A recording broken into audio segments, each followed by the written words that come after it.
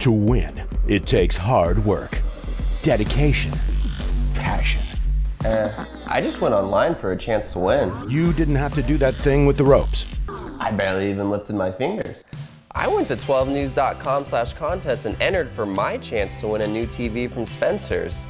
Oh, okay then. Skip the hard work. Instead, enter online for your chance to win one of 12 TVs from Spencer's TV and Appliances and watch the summer games in style.